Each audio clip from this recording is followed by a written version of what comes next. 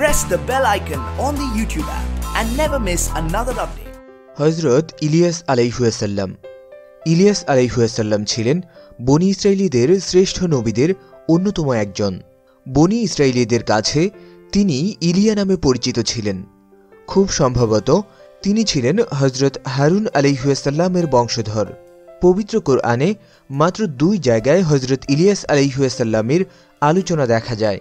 কোরআন মাজিদে আল্লাহর পক্ষ থেকে তার উপর সালাম বর্ষিত হয়েছে। আল্লাহর এই পয়গম্বর ছিলেন ইবাদত গুজারি, আল্লাহ হিরু এবং বিশাল ব্যক্তিত্বের অধিকারী।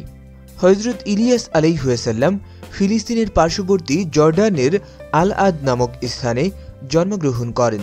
আল্লাহ পাক তাকে নবী হিসেবে মনোনীত করেন এবং ফিলিস্তিন অঞ্চলে তাওহিদের প্রচার ও প্রসারের নির্দেশ দান করেন। এই সময় হজরত সুলাইমান আলাইহুয়াসাল্লামের উত্তরসূরিদের অপকর্মের দরুন বনু ইসরায়েলিদের সাম্রাজ্য দুই ভাগে ভাগ হয়ে যায়। এক ভাগকে ইয়াহুদিয়া বলা হতো এবং তাদের রাজধানী ছিল বাইতুল মোকাদ্দাস, অপর ভাগের নাম ছিল ইসরাইল এবং তাদের রাজধানী ছিল তৎকালীন সামেরাহ এবং বর্তমানে নাবলুসে। তারা প্রকাশ্যে মারামারি, হানাহানিতে লিপ্ত হতো। ফেলে আসা আলুর সমাজ থেকে তারা ক্রমশ অন্ধকার জগতের দিকে ধাবিত হচ্ছিল। জিনা ব্যভিচার ছাড়াও নানা অশ্লীল কাজ তাদের নিত্য নৈমিত্তিক ব্যাপার হয়ে দাঁড়ায়। তখনকার ইসরায়েলের শাসনকর্তার নাম ছিল আখিয়াব বা আখিব। তার স্ত্রী ছিল ইসবিল। আখিয়াবের স্ত্রী বাল নামক এক মূর্তির পূজা করত। পাশাপাশি শহরের মানুষকেও সে বালের পূজা করতে বলতো। দলে দলে লোকেরা সেদিকে আকৃষ্ট হচ্ছিল। হজরত মোসা, হারুন, দাউদ ও সুলাইমান নবীর উম্মতেরা বিনা দ্বিধায় শিরকের মহাপাপকে আলিঙ্গন করে নিচ্ছিল। এমন এক মর্মান্তিক অবস্থায় আল্লাহ পাক তাদের নিকট তাওহিদের বাণী প্রচারের জন্য ইলিয়াস আলাইহুয়াসাল্লামকে নবী হিসেবে প্রেরণ করেন। আধুনিক গবেষকদের ধারণা হজরত ইলিয়াস আলাইহুয়াসাল্লামের নবদকাল ছিল খ্রিস্টপূর্ব আটশত ছিয়াত্তর থেকে আটশত পঞ্চাশ অব্দ পর্যন্ত। ইলিয়াস আলাইহুয়াসাল্লাম এই জাতিকে মূর্তি পূজা ছেড়ে আল্লাহর একত্ববাদের দাওয়াত দিতে শুরু করেন।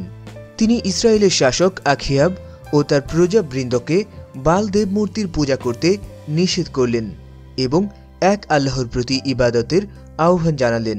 শিরকুফরে নিমজ্জিত মানুষগুলো তার কথা কানে তুলল না। দু একজন ছাড়া বাকি সবাই তার বিরোধিতা করা শুরু করে দেয়। নানা অপবাদ, অত্যাচার নির্যাতন করতে শুরু করে তারা। সকল অত্যাচার নির্যাতন উপেক্ষা করে তিনি দাওয়াতি কাজ চালিয়ে যেতে থাকেন। শেষ পর্যন্ত আখিয়াব ও তার স্ত্রী ইলিয়াস আলাইহুয়াসাল্লামের বিরুদ্ধে গভীর ষড়যন্ত্র করতে শুরু করেন। তারা ঠিক করল, ইলিয়াস আলাইহুয়াসাল্লামকে আর প্রাণে বাঁচতে দিবে না। তাদের এই ষড়যন্ত্রের কথা ইলিয়াস আলাইহুয়াসাল্লাম জেনে গেলেন। ফলে তিনি রাজধানী ছেড়ে অনেক দূরে এক পাহাড়ের গুহায় আত্মগোপন করলেন। এবার তিনি এই জাতির জন্য দুর্ভিক্ষের বদুয়া করেন। আল্লাহ পাক ওই অঞ্চলে মারাত্মক দুর্ভিক্ষ দিয়ে দিলেন। খাদ্য অভাবে সারা দেশে হাহাকার শুরু হয়।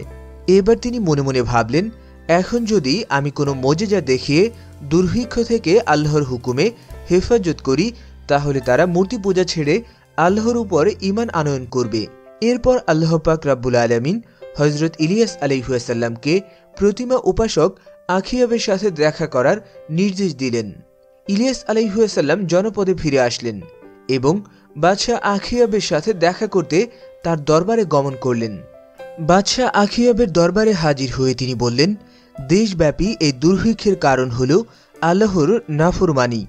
মহান আল্লাহকে ভুলে তোমরা যে প্রতিমার পূজায় লিপ্ত হয়েছ, তার শাস্তিস্বরূপ আল্লাহ তালা সমগ্র এলাকায় দুর্ভিক্ষ দিয়ে দিয়েছেন। তোমরা যদি মূর্তি পূজা ছেড়ে এক আল্লাহর উপর ইমান আনয়ন করো, তবে আল্লাহ পাক তোমাদের দুর্ভিক্ষের করাল গ্রাস থেকে মুক্ত করবেন। তোমাদের মধ্য থেকে অশান্তির কালো ছায়া দূর হবে এবং শান্তি ও সমৃদ্ধি ফিরে আসবে।